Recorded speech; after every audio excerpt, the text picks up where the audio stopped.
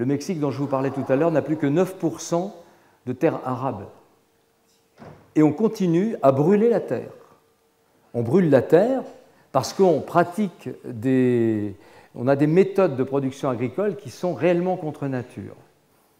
Par exemple, en Bretagne, vous connaissez euh, le, phénomène des lisiers, les lisiers qui sont devenus en quelque sorte des poisons qui empoisonnent les rivières et les littoraux. Et puis en Beauce, nous avons la paille que nous brûlons parce que les bactéries du sol n'existent plus pour la digérer. Autrefois, le lisier mélangé à la paille, ça faisait l'or noir des étables, qu'on appelait le fumier. Aujourd'hui, on est dissocié complètement. C'est à l'image de la schizophrénie des gens qui, des technocrates qui nous conduisent vers euh, cette tragédie, euh, mais qui en même temps enrichissent quand même pas mal les marchands d'engrais, puisque des deux côtés, que ce soit la Bretagne ou la Beauce, on est obligé d'acheter de l'engrais puisqu'on n'a plus rien pour fertiliser les sols. Sauf que les engrais ne peuvent pas remplacer le compost et la matière organique pour la bactériologie des sols. Les engrais, c'est un petit peu comme euh, les éléments nutritifs que vous mettez dans une pompe à perfusion vous pouvez faire vivre comme ça des gens euh, dans le coma ou autrement, sous perfusion. Et non, on a mis toutes nos plantes dans un vaste hôpital, sous perfusion, puisque les engrais solubles et la culture hors sol, c'est ça.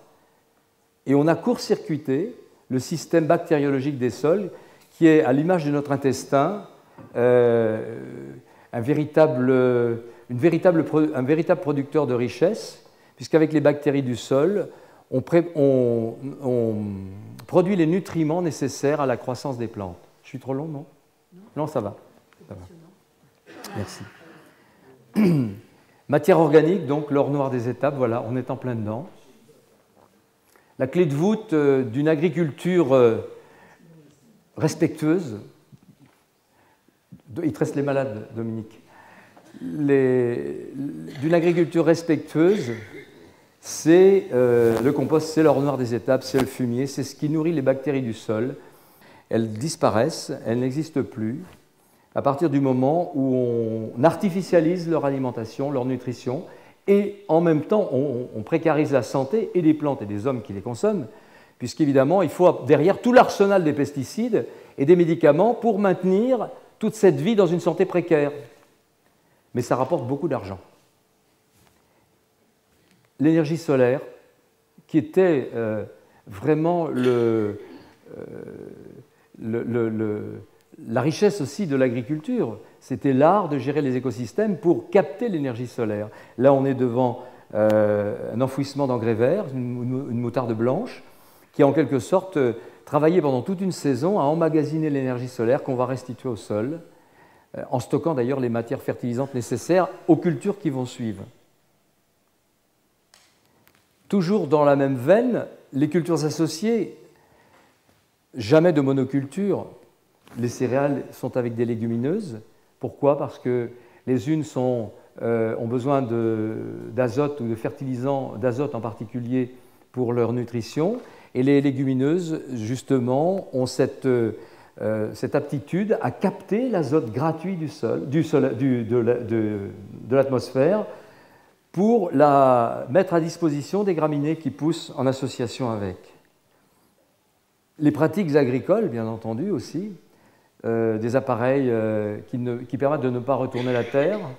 Là, il s'agit d'une machine qu'on appelle Actisol qui travaille la, terre en profondeur et qui évite de faire ce qu'on fait régulièrement dans les champs, c'est-à-dire qu'on retourne à 20 ou 30 cm, on fait des labours profonds, qui euh, ont, le, le, malheur de bouleverser les colonies microbiennes qui sont dans les sols et font que les microbes aérobies qui vivent en surface et qui ont besoin d'oxygène pour subsister se retrouvent enfouis euh, dans le sous-sol, alors que les, microbes anaérobies, ceux que justement l'oxygène détruit, euh, se retrouve en surface au contact de l'oxygène. C'est un petit peu comme si vous preniez le poisson rouge de votre bocal pour le mettre dans la cage du serin et vice-versa.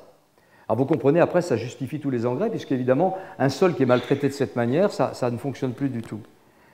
Et donc l'objectif de, l'agriculteur qui n'utilise pas tous ces artifices, c'est de travailler au mieux avec les écosystèmes et de faire en sorte qu'il ameublisse en profondeur les terres pour que les plantes qu'il va y implanter aillent immédiatement avec leurs racines explorer les, horizons profonds du sol pour pouvoir se nourrir sans être euh, avec les racines atrophiées que l'on trouve maintenant dans la plupart des, monocultures industrielles bourrées d'azote et qui n'ont pas besoin de développer un système radiculaire parce qu'elles sont littéralement sous perfusion.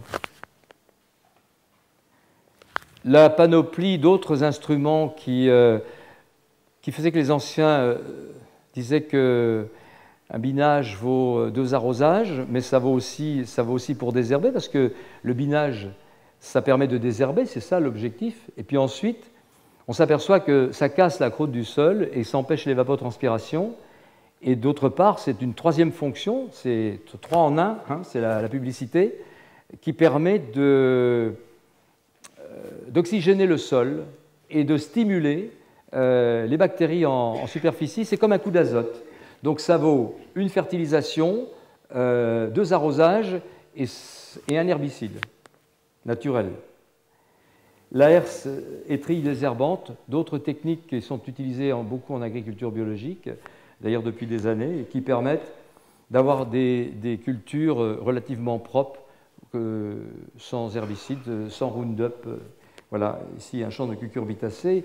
Mais pour que le, système soit complet et cohérent, il faut bien entendu la rotation des cultures, les assolements, et nous avons derrière une légumineuse, et en l'occurrence euh, une légumineuse très intéressante qui s'appelle le lupin, qui est beaucoup plus riche en protéines que le soja, et qui est une plante pionnière parce qu'elle peut pousser sur des sols extrêmement pauvres et squelettiques et très acides.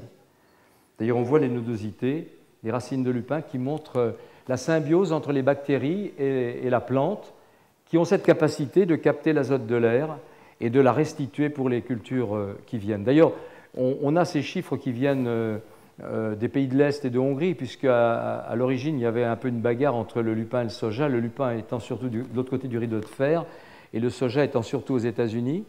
une culture de lupin peut laisser jusqu'à 250 kg d'azote pur à l'hectare, c'est-à-dire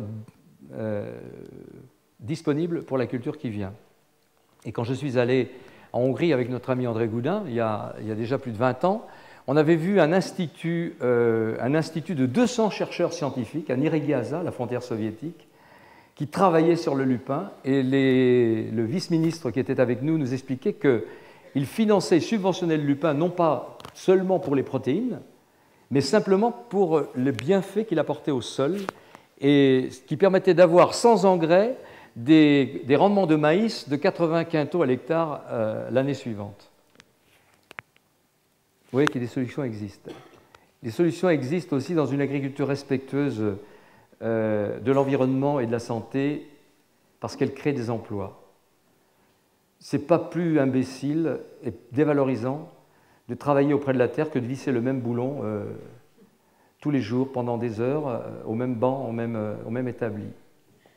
Seulement voilà, dans l'inconscient collectif, on a, décrété que c'était dégradant, que c'était dévalorisant d'être euh, en contact avec la terre.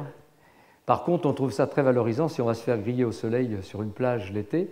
De la même manière, hein, ce jeu d'images, euh, je le rappelle simplement parce que ça m'amuse beaucoup, c'est extrêmement euh, dévalorisant et stupide d'utiliser un cheval pour entretenir la terre et les cultures, mais par contre, c'est extrêmement valorisant si vous faites du cheval le dimanche matin avec un chapeau et des bottes de cuir.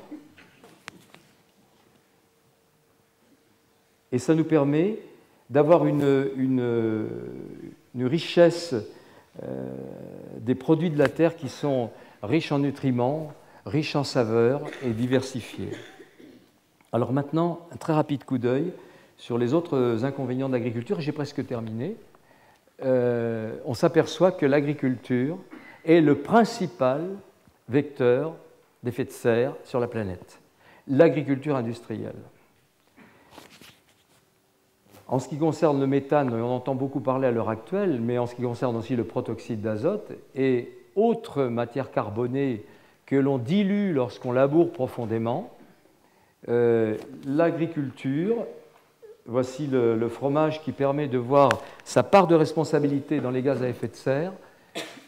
Pour l'instant, l'agriculture en direct produit, est le, est le plus grand producteur de gaz à effet de serre de toutes nos activités.